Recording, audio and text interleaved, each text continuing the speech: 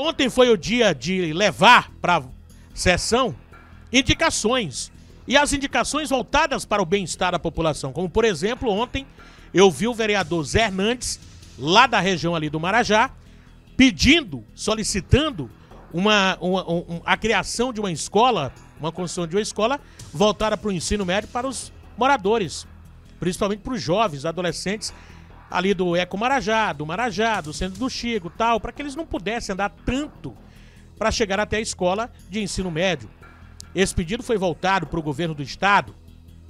Já outros vereadores pediram, e fizeram indicação de melhorias, né, da, da estrada que dá acesso do povoado Benfica até o povoado São Luís do Bode.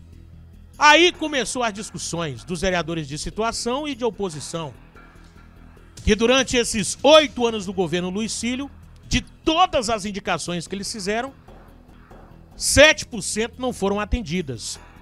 E o vereador Zé Branco usou a tribuna ontem da Câmara e soltou essa pérola aqui que vi, é, viralizou nas redes sociais, ele rebatendo o fato de que, por ser vereador, ele está desanimado e por isso não faz mais indicação, porque ele disse que não adianta fazer indicação sendo que o município não constrói e não realiza e não atende nenhuma indicação para melhorar a vida do povo de Coroatá. Vamos ouvir o que o vereador falou ontem.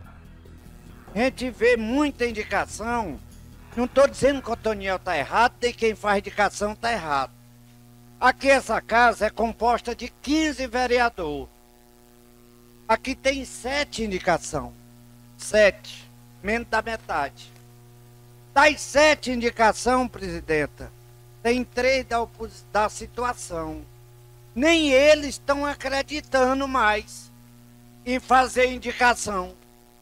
Por isso é que não me dá, assim, eu não sinto mais essa, essa vontade de fazer indicação.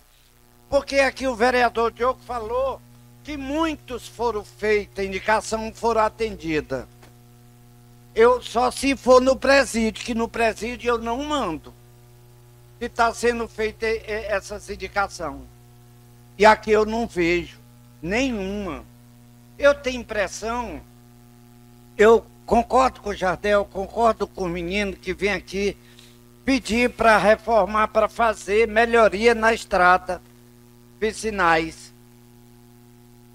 Eu até sugeri para o Jardel Jardel, no lugar de tu fazer essa indicação, faz uma indicação para Jesus aumentar o inverno mais quatro meses.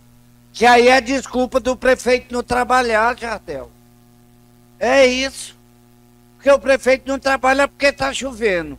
Ele tem oito anos na prefeitura. São oito verão e oito inverno. Ele nunca conseguiu, viu, pa parar de chover. Sinceramente. Aqui é, Muito é, bem, é, então tá aí. Um ponto do discurso do vereador Zé Branco, que usou ontem, é do republicano Zé Branco, fez ontem esse discurso. E os próprios vereadores de situação entendem o discurso do vereador e sabem que a situação não é fácil. Muitas indicações no decorrer dos últimos anos foram feitas, inclusive hoje de manhã no Jornal da Manhã.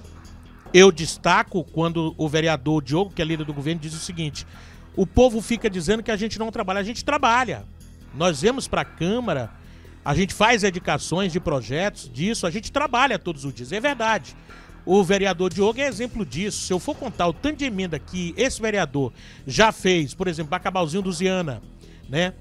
É, é, é, é para aquela região ali é, é, da Taboca, nas próprias cidades de Coroatá, construção de posto médico, melhorias, construção de, de escolas, e que realmente não foram atendidas. Ele sabe disso e todo mundo sabe.